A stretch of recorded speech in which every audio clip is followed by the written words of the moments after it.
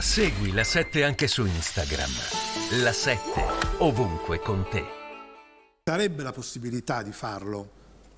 Ma certo, Ecco. guardi, io come economista sono sempre un po' titubante quando si tratta di fissare per legge dei prezzi.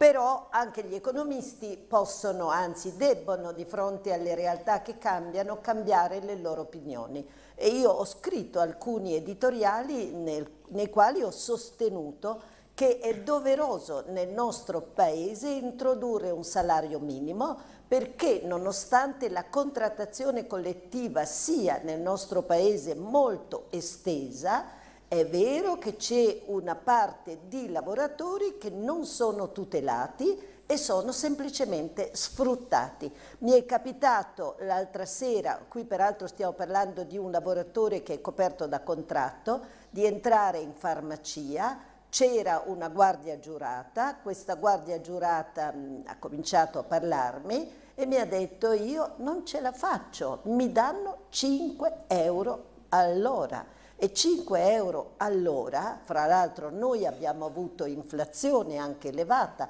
adesso sta scendendo l'inflazione, non stanno scendendo i prezzi, quindi i prezzi continuano ad aumentare, sia pure a un ritmo più ridotto, ma in questi anni i salari che non sono aumentati hanno perso potere d'acquisto. Allora questa era un'occasione, io non, ho sentito dire la, la maggioranza ha perso un'occasione, no, l'ha persa il Paese, era un atto di civiltà sostenuto anche da considerazioni economiche, non avrebbe creato quegli effetti perversi di cui la maggioranza anche con l'avallo del CNEIL ha parlato e quindi era un atto di civiltà che avrebbe potuto per una volta mettere d'accordo maggioranza e opposizione, gli uni a eh, ridurre un po' i toni trionfalistici, gli altri a dire facciamo una cosa buona. Ma non funziona mai così nel Alessandro, quello che, quello che dicono però sempre quelli di destra e, il- e il loro diciamo